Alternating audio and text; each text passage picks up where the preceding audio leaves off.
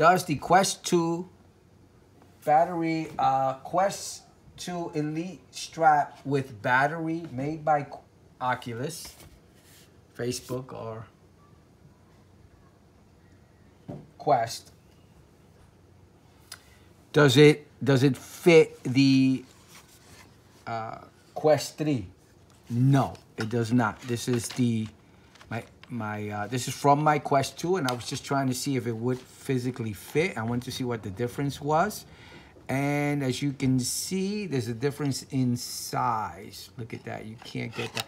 This thing here is sticking out, so it doesn't, it can't be flush in the front, as you see. So I can't push it in, and it doesn't fit. It's physically a totally different size, as you can see. Does not fit. Oh well just seeing if I can just, I'm gonna have to order, I'm gonna have to wait for Best Buy to get the Quest 3 ones in. I buy it from Best Buy because I'm part of one of their yearly, uh, I don't know, super, super group or something. You pay a yearly fee and they warranty the products you purchase from them for 24 months and other perks. So I'm gonna have to wait and be patient. But the Quest 2 strap, battery, this is it right here.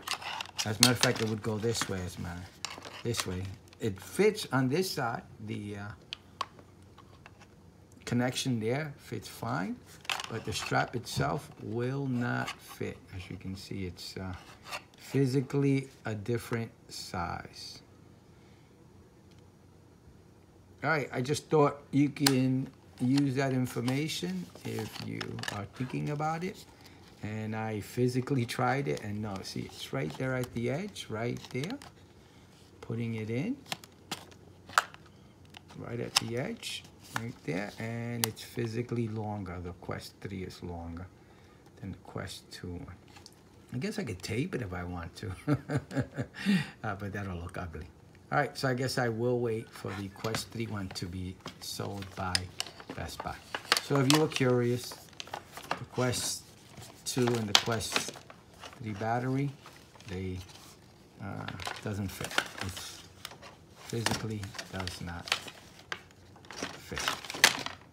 All right, please like and subscribe. Thank you for watching. Uh,